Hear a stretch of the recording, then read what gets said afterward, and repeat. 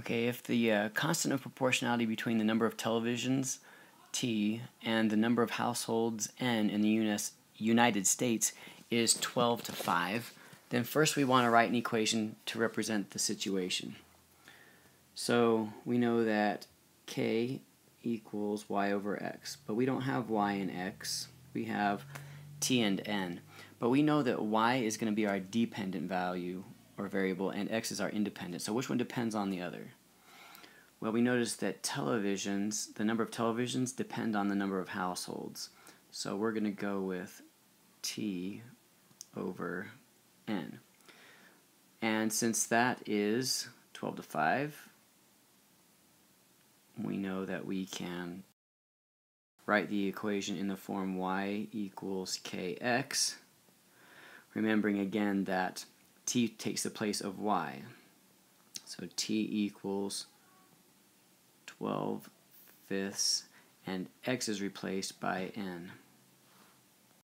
Now the way we reason this out and think about it is the number of houses or households would we multiply that by 12 fifths to find the number of televisions? And it makes sense because we know that most households have more than one television. So the number of households is going to be, since the numerator is larger than the denominator, when we multiply the number of households by 12 fifths, this number is greater than the number of households, and the number of televisions ends up being greater than the number of households. So even logically wondering, you know, do we have this right, is a good idea. And yes, we do. So this is our equation. Next, we want to create a graph. Well, we've already said that the number of households is our x, and the number of televisions is the dependent variable. And now we just need to decide how to number them. Well, this is a 20 by 20 graph. So, because uh, 12 the second, you know, if we double that, then it's 24 over 5, and that goes right off our graph. Um, we could go ahead and just count by ones. If we were to do that, then we go to the right. 1, 2, 3, 4, 5. And for every 5 households, we go up 1, 2, 3, 4, 5, 6, 7, 8, 9, 10, 11, 12, and put a point here and then with a ruler line up this point and 0, 0, because of course 0 households would have 0 televisions, and draw that line. We could also count every other one, so 1, 2, where I lost count, 1, 2, 3, 4, 5, and then go up by ones, so 1, 2, 3, 4, 5, 6, 7, 8, 9, 10, 11, 12 and that just makes our line be more horizontal or well more kind of through the middle. Uh, it doesn't really it doesn't change the the graph of, of the line itself just the way that it looks on the graph so we would just have to decide I'm probably just going to go number by ones now if you number by ones you don't need to number each individual line if I count by ones on the y's I don't have to count I don't have to label each individual line but if I do put 1 here. Really, I'm counting by halves just to spread out the graph. So 1, 2, then I would have to uh, label each one. But I'm going to go by ones. Now later I'll talk more about you really haven't made an appropriate graph if you haven't used up more than half the graph vertically and horizontally. And as you can see, this does not use up more than half the graph horizontally from left to right. Um, we're not going to worry about that just right now. But the next thing we want to do is predict um, a number based on a given number. For instance, if um, let's say that uh, Best Buy or, or Walmart or somebody sells um, or has for sale um, like 108 televisions. Um, how many households would that you know fit if this is a true number? So what we do is we plug that in. So it has the number of televisions, so we replace t, the number of televisions, with 108.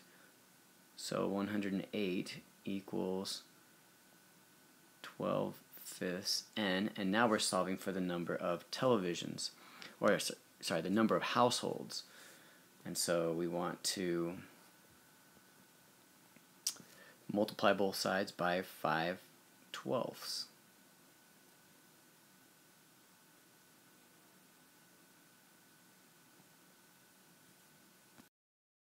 And that, if you do that math, would equal 45.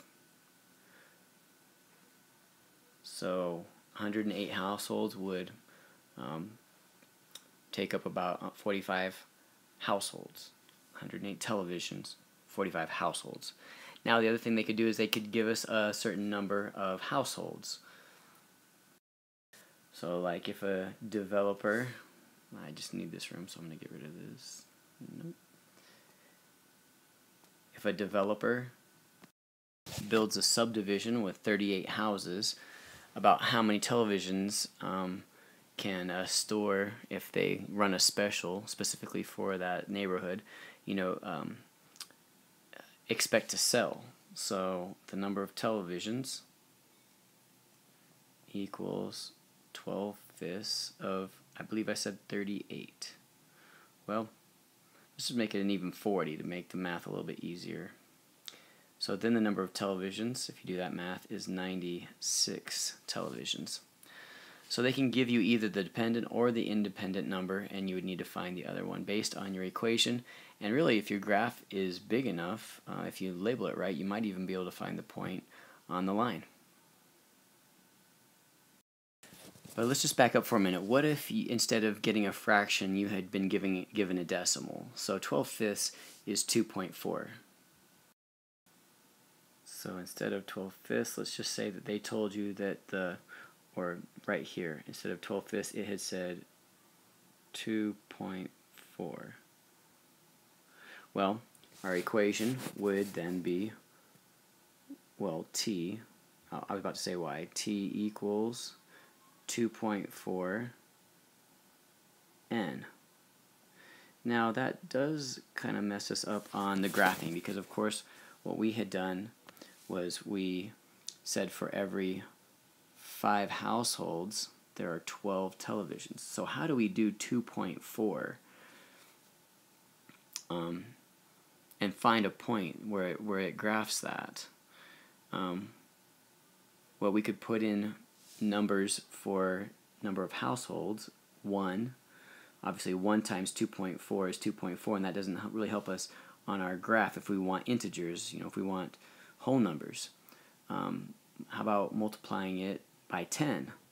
Well, that's going over 10, and we can see that that's 24, and that goes off my graph. Now I could renumber this so that it could take care of 10 and then 24. But we can also, if we put in 5, we can see that if we do 5 times 2.4, we get 12. So if they give you a decimal, you might have to do a little more finagling in order to come up with a point that's usable. But this point is still valid, even if instead of 12 fifths we use 2.4. And then when you plug it in here, you're doing 40 times 2.4. Or before, when we had the number over here, you just divide both sides by 2.4. And if you're using a calculator, it's actually easier with a decimal when you're using it to find unknown numbers.